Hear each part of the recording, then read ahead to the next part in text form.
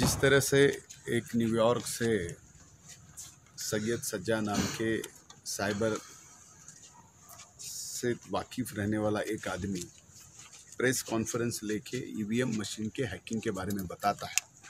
और इसके पहले भी देश के कई चुनाव में ईवीएम हैकिंग हुई है। और वो आदमी जो इलेक्ट्रिकल कारपोरेशन ऑफ़ इंडिया में जो भारतीय सरकार से जुड़ी हुई एक संस्था है उसमें काम कर चुका है। वो आदमी अगर कहता है कि ये ऐसी इस तरह से ईवीएम हैकिंग इसके पहले भी हुई है आज भी होती आ रही है और ये हैकिंग के बारे में कुछ चौदह लोगों को जानकारी थी उसमें लोक नेता स्वर्गीय मुंडे साहब को भी इसकी जानकारी थी और इसी कारण से स्वर्गीय मुंडे साहब की भी और उनमें जिनकी जानकारी थी उनमें से कई लोगों की हत्या हुई है। तो ये हमारे लिए सबसे बड़ी धक्कादायक बात आज हमारे सबके सामने आई है। ये सबको चौंकाने वाली बात है।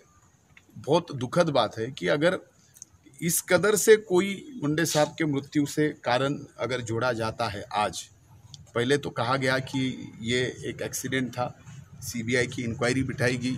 सीबीआई ने इंक्वायरी का रिपोर्ट दिया गया कि हाँ ये एक्सीडेंट में ही उनकी डेथ हो गई है। तब थोड़ा सा विश्वास हुआ लोगों को कि ठीक है, एक एक्सीडेंट में हो सकता है।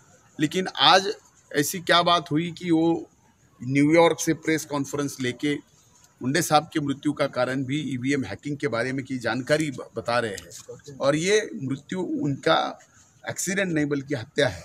ये इसकी जान इसकी जाँच जल्द से जल्द होनी चाहिए। या तो वो न्यूयॉर्क से बात कर रहा है या तो फिर उसने रॉ ने जा, उसकी जाँच करनी चाहिए। या तो फिर सुप्रीम कोर्ट के सीनियर मोस्ट जज के ऑब्जर्वेशन में इसकी जाँच वापस से दोबारा करने की ज़रूरत है।